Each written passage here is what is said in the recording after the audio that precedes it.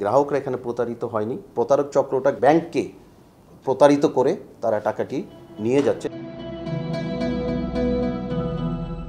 বেসরকারি সোশ্যাল ইসলামী ব্যাংকের হাসনাবাদ শাখা ক্যাশ কাউন্টারে লাইনে দাঁড়িয়ে থাকা এই ব্যক্তির স্বজন বিদেশ থেকে টাকা পাঠিয়েছেন। সেই টাকা তুলতে তিনি এসেছেন ব্যাংকে। কাগজপত্র যাচাই বাছাই করে ক্যাশ অফিসার টাকাও দিয়ে দেন। লাইনে দাঁড়ানো এই ব্যক্তিও এসেছেন একই কাজে। তার স্বজনও পাঠিয়েছেন রেমিটেন্স নিয়ম মেনে টাকা তুলতে দেখা যায় তাকেও। এভাবে এই একটি শাখা থেকেই কয়েকজন গ্রাহক প্রায় ছয় লাখ টাকা উত্তোলন করেন রেমিটেন্সের নামে।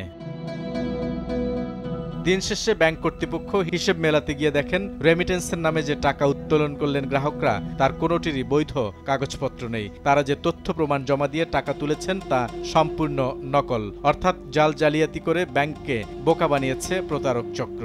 একটা অ্যাকাউন্ট থেকে এটা আমরা সমন্বয় করি।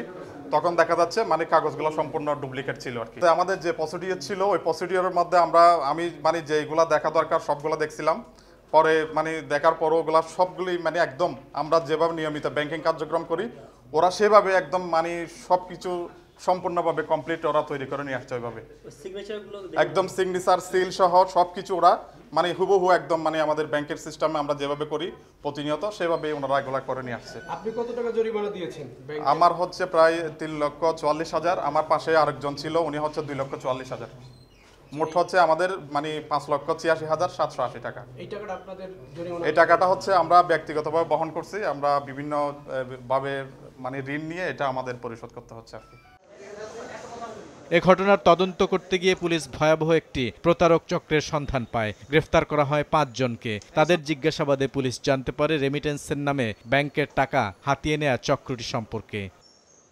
পুলিশ বলছে, প্রথমে ব্যাংকে দীর্ঘদিন রেকি করে তারা। রেমিটেন্স কর্নারে গিয়ে সেখানকার দায়িত্বে থাকা ব্যাংক কর্মকর্তার কার্যকলাপ অনুসরণ করে একজন। কৌশলে রেমিটেন্স স্লিপের ছবি তুলে অথবা কারও কাছ থেকে সংগ্রহ করে। সেখানে থাকা ব্যাংক কর্মকর্তার সিল স্বাক্ষর নকল করে হুবহু স্লিপ তারা নিজেরাই তৈরি করে মনমতো টাকার অঙ্ক বসিয়ে ক্যাশ কাউন্টারে জমা দেয়। ক্যাশে থাকা কর্মকর্তা দেখেন, সবই ঠিক আছে, দিয়ে দেন টাকা, অথচ তাদের নামে কেউ রেমিটেন্সি পাঠাননি। সবকিছু নকল করে তারা হুবহু যেভাবে গ্রাহকরা এসে রেমিটেন্স শাখা থেকে তারা স্লিপটি নেন, তারা ওইভাবেই একটি নকল স্লিপ তৈরি করে ক্যাশ কাউন্টারে জমা দিচ্ছেন, তখন তারা ক্যাশ হয়ে যাচ্ছে।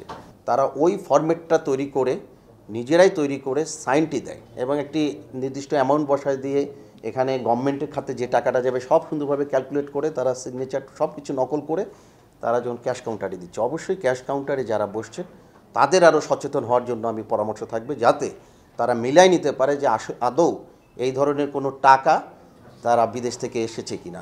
গ্রাহকরা এখানে প্রতারিত হয়নি। প্রতারক চক্রটা ব্যাংককে প্রতারিত করে তারা টাকাটি নিয়ে যাচ্ছে। সেক্ষেত্রে ব্যাংক কর্তৃপক্ষের আরও সচেতন হওয়ার জন্য আমার পরামর্শ থাকবে। আর কোন কোন ব্যাংকে এই ধরনের ঘটনা ঘটেছে সেই তথ্য সংগ্রহ করছে পুলিশ। বুলবুল রেজা, সময় সংবাদ, ঢাকা।